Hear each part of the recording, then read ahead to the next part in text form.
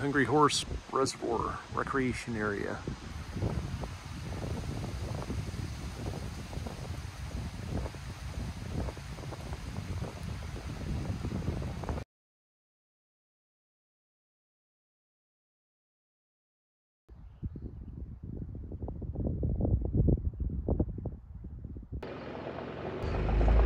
Welcome back for another Campground Recon adventure. We're at the Lid Creek Campground. So this one is fourth in a series from uh, Hungry Horse Reservoir in the Flathead National Forest, uh, not far from the west entrance of Glacier National Park. So 19 campgrounds in total all around the lake. Uh, this is our fourth one. Um, probably going to be the last one that I record here. Just not enough time. This whole area around the Flathead, this whole area around the Flathead Valley is, uh, I could spend weeks here recording campgrounds um, and end up with enough campground videos to show you guys for like six months, releasing one a week just so much to see and do around here.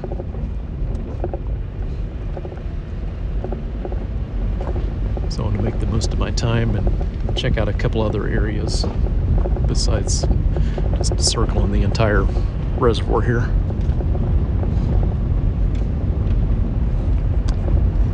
I do have two bars of LTE service with AT&T, which I've not had much service since I um, got passed, crossed over the dam. Um, so I'm not sure what we're close to, or maybe it was just being up high, a higher point coming into this one.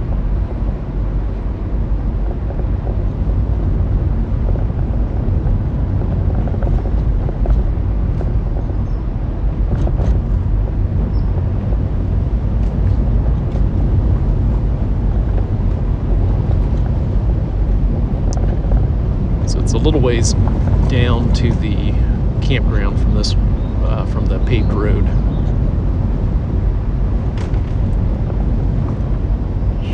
there shortly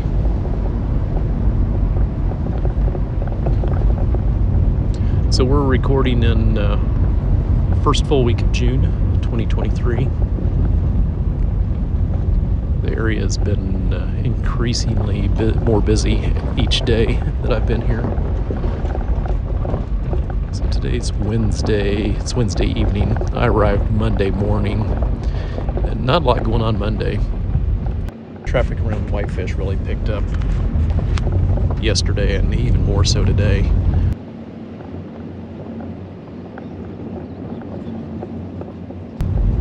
Made it into the west entrance of Glacier National Park uh, this morning. The road to the sun is still not fully opened yet.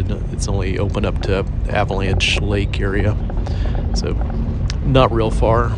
Didn't didn't get to see a lot of the views. Did get to go to McDonald Lake and, and check out some waterfalls and stuff, which were pretty cool. But definitely gonna have to come back and and spend a vacation here. It's really great. All right, getting into the campground here. Let's see what we've got.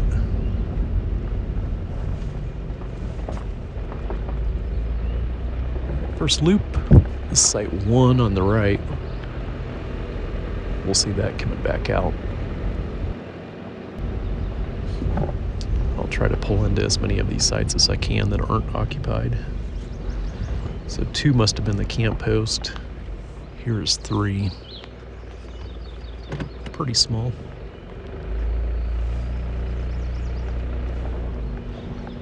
16 day stay limit here at the campground. And fees are going to be $16 per night. It looks like they do have some double sites, which would be $32 per night.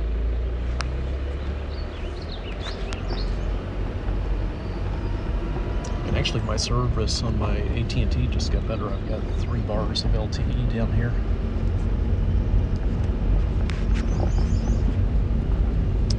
I can see some campsites in the other loop off to my left.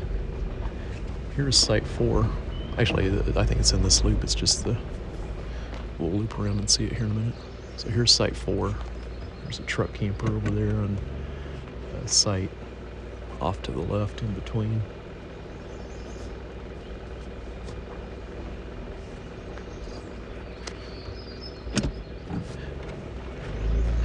This doesn't feel quite as overgrown with vegetation. I mean, there's still a lot of vegetation here, but the, the sites aren't as overgrown as uh, the Lost Johnny and Lost Johnny Point campgrounds. Site 5. This one's got a little slope to it.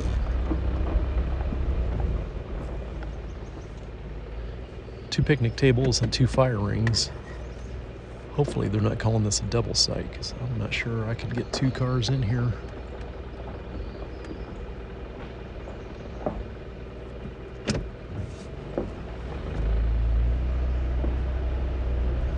Trees are just really thick here. It's nice. Site six off to the right. Oh yeah, this one's longer. You can get a trailer in here.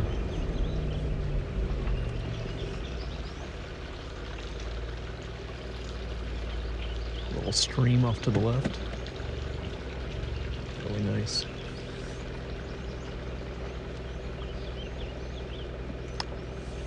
Kind of like that just for the sound of the running water. Help you sleep at night.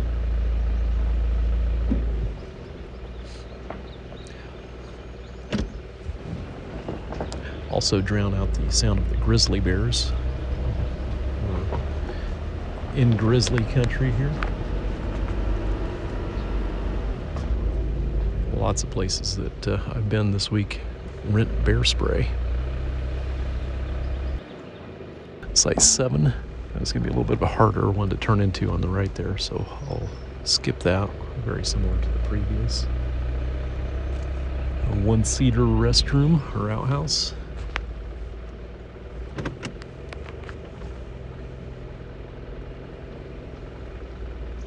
Okay, I guess there could be parking here. A picnic table and fire ring up up there, but it belongs here in site 8 that I'm going to pull into.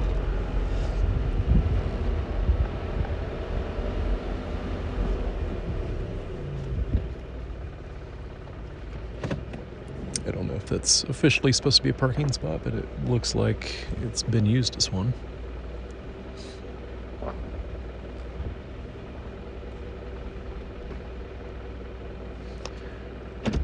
On some sites with a view of uh, Hungry Horse Reservoir here in a second. Some some lake view sites.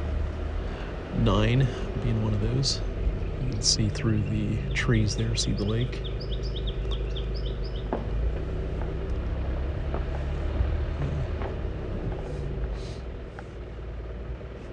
Not really even on this one. You'd have to jack up whatever end of your RV is closest to the road not very level.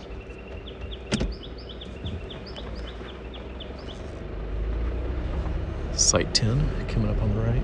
Looks like it's uh, a reservable site.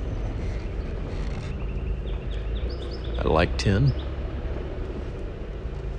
So there's another loop that'll be closer to the water. I'm excited to see what what is there.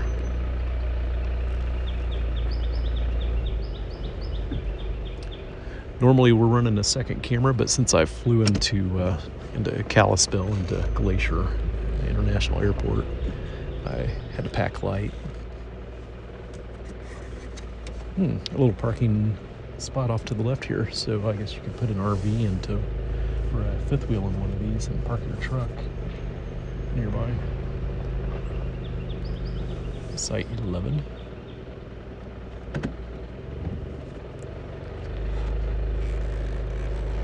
So yeah, only the front camera this time. I don't have uh, a side camera, which I would love to have. So I wouldn't have to pull into all these sites. Just with the vegetation, it's hard to hard to show you guys what these look like.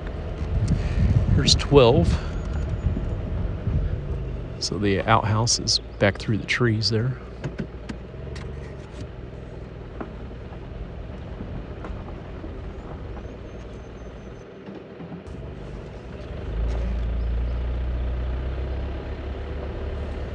Site 13. This would be a walk-in site, which I guess uh, not really a walk-in site, but one that's non-reservable. A little downhill to the picnic table. If you got bad knees, you might not like that. It's 13. 14 is the white truck over here with a camper in front of it, or trailer.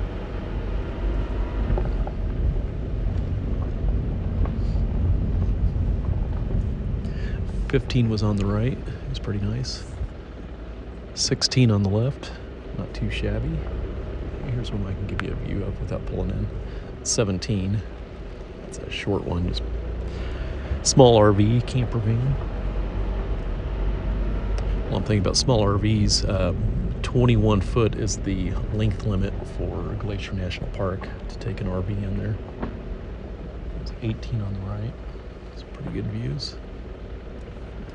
19 on the left.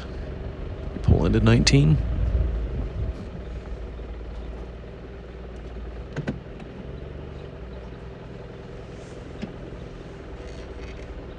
In all of the campgrounds that I saw, which was only I think three or four today uh, in Glacier National Park, um, all are reservation only truck camper is going to be in site 20. Off to my left is a short site for site 21. Let's look at 22. Picnic table is off to the left. Actually, pretty level to get to the picnic table. Restroom. 23 is the site that I'm pulling into now.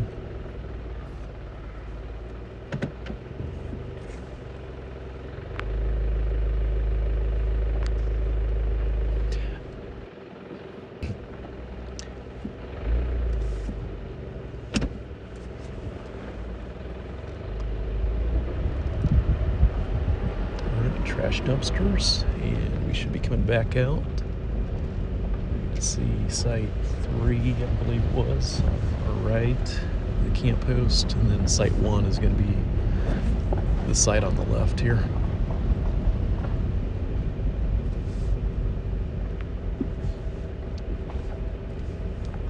So there's site one. Yeah, it's, it's one of those that if you came up here and couldn't find anything else, it'd be okay. It does have a pretty good view of the lake through the trees there.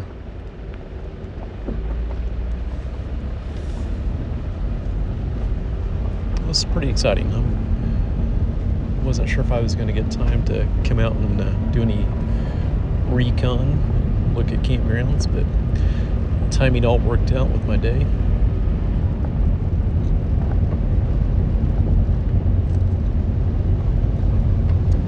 So I believe we got two more loops here.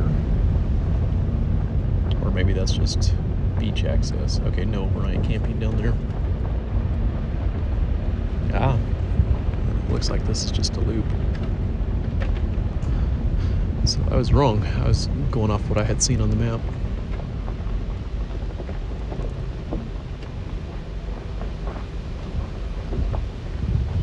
Oh. Access to the lake here. Pretty nice.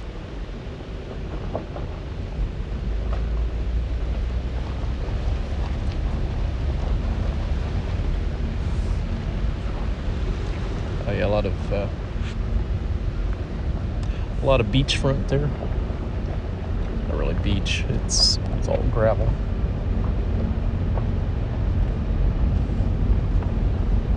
Not too shabby. I like it.